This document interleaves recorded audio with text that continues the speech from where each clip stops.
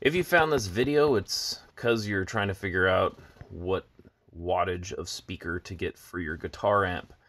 And unfortunately, there's not many videos about that on YouTube.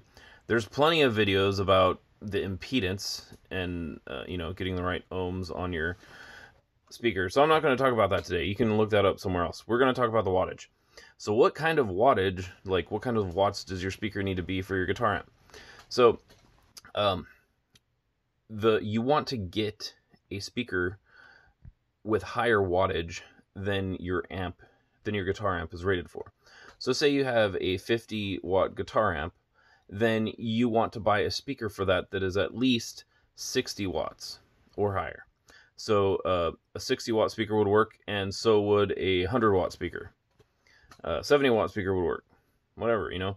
Uh, go to um, go to Guitar Center or Sweetwater or Musician's Friend and look at any amp on there, uh, tube or solid state guitar amps, and you'll notice uh, that the speaker will always have a higher wattage than the guitar amp, and usually it's about 10 watts more. Like if it's a 50 watt amp, then you got a, a 60 watt speaker, or if it's like a 100 watt amp, then you have a 120 watt speaker or higher. You know.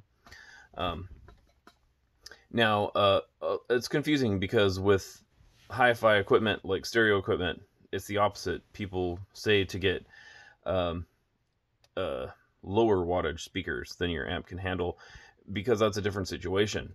Um, because you want headroom in an amp like that, and um, you'll hear it. You'll because it's such um, transparent sound when you're listening to uh, stereo like music or something. So you're gonna hear it. You don't want distortion. That sounds awful. So you you won't overdrive it and blow your speakers.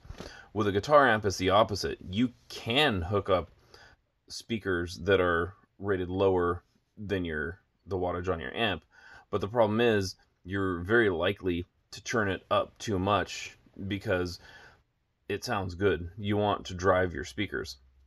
So um, yeah, it's likely you'll blow them, and I wouldn't recommend doing it.